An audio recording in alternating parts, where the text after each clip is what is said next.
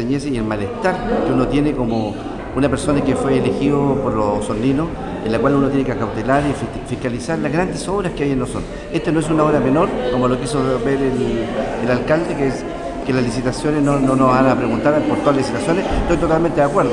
Si me van a preguntar por instalar dos o tres bancos en la plaza, estoy de acuerdo que no me pregunten. Aquí estamos hablando de algo que le interesa a la población de Osorno, es decir, la licitación eh, del, terminal es la cara de Osorno donde entran los buses, es una cosa que, hace mucho tiempo, es una cosa bien sentida, de tal modo que no es una obra menor. Entonces yo ahí discrepo profundamente con el alcalde que no es una obra menor. Y eso tiene que haber sido sociabilizado. Y eso muchos eh, concejales que son de la concertación eh, me encontraron la razón. Por lo tanto, yo considero que estas cosas el alcalde debe tener la diferencia, por lo menos de destino que se va a la licitación.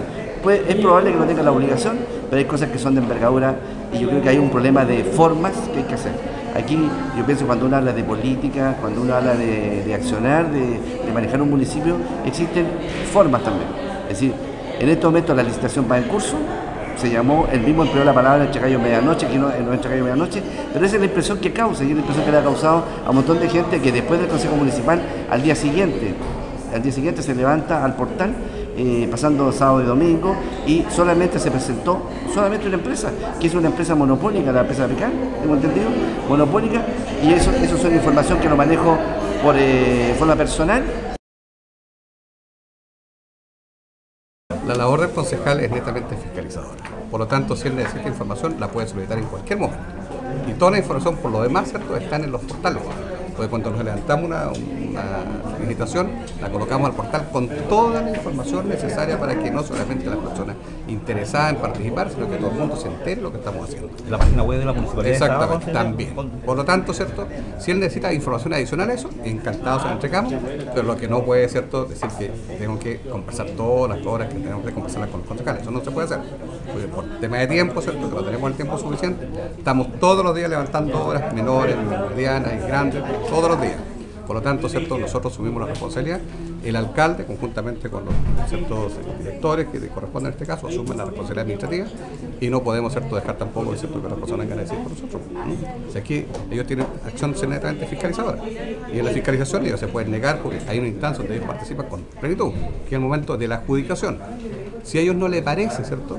Pueden votar que no y pueden rechazar la, administración ah, con, con, una sola empresa interesada es, harto difícil poder tomar decisiones cuando se necesita efectivamente una remodelación del terminal Sí, la verdad es que yo no veo, sí, la verdad es que no veo, mira, si no hay interés por las empresas para participar en este, en la segunda legislación que estamos haciendo, seguramente, ¿cierto? no sé si la empresa va a hacer una oferta o no hacer una oferta, pero nosotros como municipio tenemos que ver si acaso nos conviene o no nos conviene. Pues. Y ahí yo creo que es el momento de conversar con los concejales y decir, a ver, mire, esto es lo que tenemos, ¿qué le parece a ustedes? Pedir la opinión no es vinculante la opinión de ellos. Ya, pero yo puedo conversarlo con ellos, y lo hago con estas cosas. Y si, y si no nos conviene, ¿cierto? La invitación, simplemente la rechazamos y se el lío. ¿Hay una tercera opción de retirarse, por ejemplo, eh, la empresa TICA? No, ellos no, simplemente no hacen oferta. ¿no? Es decir, ellos no hacen oferta hasta que la ¿Y qué otro mecanismo hay? No, ahí, ahí no, no, no, ahí simplemente, ¿cierto? Eh, no, no, tendríamos que hacer una tercera legislación, una cuarta legislación hasta que haya oferente. Pero simplemente, si no hay oferente ahora para hacer el tema de buses, vamos a licitar la administración por dos años, ¿cierto? Con eh, todos los beneficios que corresponden al municipio. Alcalde, ¿la Comisión Técnica puede tener una reunión con concejales también, invitarlo a ver la decisión de esta licitación? Eh, no. No, porque no, no, no, no, ellos no se pueden meter en la administración. Los concejales no pueden meterse en la administración del municipio. No tienen facultades para ello. Ellos solamente tienen facultades fiscalizadas. Ellos pueden pedir a la comisión que le entregue informe. la comisión, ¿cierto? yo le pido a la comisión por mi intermedio, yo le saco un informe que sea necesario. Lo que no puedo yo, ¿cierto? es negarme a entregar cualquier informe a los concejales. Todo lo que ellos que hacer. ¿Y existe alguna etapa de socialización del proyecto? Generalmente, pues, cuando llegamos a la adjudicación, nosotros lo conversamos para ver, ¿cierto? Nos conviene o no nos conviene, estas son las empresas que llegaron, ¿cierto? Aquí este fue el asunto ya, pero imagínate si vamos a empezar a socializar las bases, no vamos a terminar nunca ni siquiera hacer las bases. ¿eh? Ponernos de acuerdo todos para hacer unas bases, ya nos cuesta con, la, ponernos de acuerdo en la comisión. ¿eh?